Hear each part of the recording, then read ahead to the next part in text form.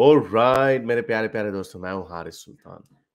आप लोगों ने अभी टेस्ट मैच देखा होगा और आपने देखा होगा कि ये उल्टा लेने के देने पड़ गए। अपनी तरफ़ से होशियारी की ऐसी फ्लैट पिच बनाई कि चलो यार, हम कम से कम हारेंगे नहीं, खूब लंबे लंबे सो बनाएँगे, बाबर आज़म की एवरेज ऊपर करेंगे, मोहम्मद रिजवान की एवरेज ऊपर करेंगे, गोरे बेचारे आएँगे, कुछ कर नहीं पाएँगे। हालाँकि हर दुनिया में हम देखते हैं कि जो होम टीम होती है, उसको एडवांटेज होता है अपनी पिचेस के ऊपर खेलने का। इंडिया की पिचेस के ऊपर भी बड़ी क्रिटिसिज्म होती है कि डस्ट बॉल्स बनाए हैं उन्होंने, लेकिन कम से कम बैट और बॉल का मुकाबला तो सही होता ना। कम से कम 20 विकेटें लेना पॉसिबल तो होता ना।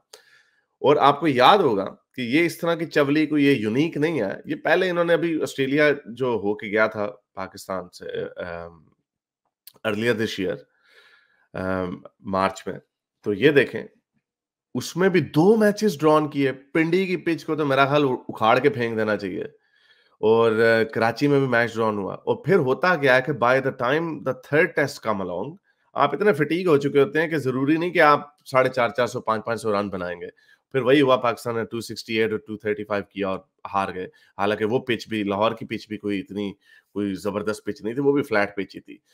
तो यहाँ पर क्रेडिट जाता है इंग्लैंड को कि इंग्लैंड ने पहले दिन से आके उन्होंने सिक्स रन पर ओवर की स्पीड से स्कोर किया। ये जो पहले जो दो मैचेस ऑस्ट्रेलिया के भी हो गए, क्योंकि उन्होंने कन्वेंशनली खेला, उन्होंने three three and half run को अच्छा समझा।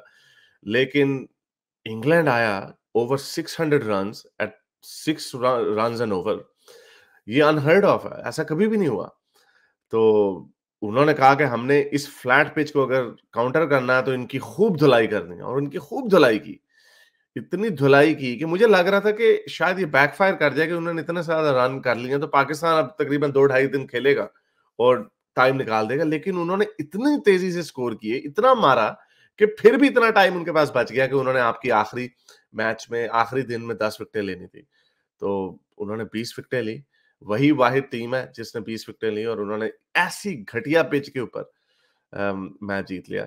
और अगला मैच होना है मुल्तान में, उधर भी बड़े गर्क होने हैं, उधर भी यही लग रहा है कि लेकिन मज़ा ये आएगा कि अब वो उसी मेंटेलिटी के साथ आएँगे, उन्होंने कहा हमने पेलना है इनको। तो अब देखते हैं ये क्या करते हैं, शायद ये कहें कि यार पिच को नहीं यार थोड़ा इवन कॉन्टेस्ट होना चाहिए, लेकिन मुझे नहीं लगता, क्योंकि इन्होंने इतने अरसे बाद हमेशा से हमारे पास, पहले श्रीलंका आई, जिम्बाब्वे आई, बड़े अरसे से तरले कर रहे थे कि कोई गोरी टीम आए कुछ यू नो थोड़ा रिच बोर्ड्स आए पाकिस्तान में टूरिज़्म आए या कम से कम पाकिस्तान को एक सेफ़ कंट्री का एक, वो तो मिले। तो पिच ऐसी बना दी कि किसी को दिल भी नहीं कर रहा होगा देखने को मैच हालाँकि इतनी स्पीड में स्कोर हुआ कि मज़ा आना चाहिए था, लेकिन बिल्कुल मज़ा नहीं आया। मैंने सिर्फ़ आखिरी दो दिन का टेस्ट मैच देखा था वो भी इसीलिए शायद अब देखते हैं रिज़ल्ट आना है कि नहीं आना। तो having said that I think England की जो टीम है uh, मेरा ख्याल से जो elephant in the room obviously Ben Stokes की जो कैप्टनसी है अनहर्ड uh, ऑफ़ और वो मैं इंग्लिश कमेंटेटर्स को सुन रहा था कि ब्रेंडन मैकलम ने ये नया फॉर्मूला लेके आए हैं नई फिलोसफी लेके आए हैं कि हमने इसको खूब टेस्ट मैच को खूब पेलना है। चलो, ये तो पिच फ्लैट थी, साढ़े छह रन की एवरेज से उन्होंने पहली इनिंग में स्कोर किया, दूसरी इनिंग में सात रन की एवरेज से स्कोर किया। थोड़ी पिच अगर थोड़ी बैलेंस्ड हो तो उनका आइडिया है कि चार, साढ़े चार रन चार रन पे भी अगर करें तो टेस्ट मैच में बहुत ज़्यादा होता है। चार रन की एवरेज से स्कोर करने का मतलब है कि आप पहले दिन में 360 350 रन स्कोर कर सकते हैं। और तकरीबन साढ़े चार सेशन में आप 500 से ऊपर स्कोर कर सकते हैं। अगर आप इस स्पीड से स्कोर करेंगे लेट्स जस्ट इमेजिन एशेज होती है ऑस्ट्रेलिया में होती है मज़ा आएगा वहाँ पे।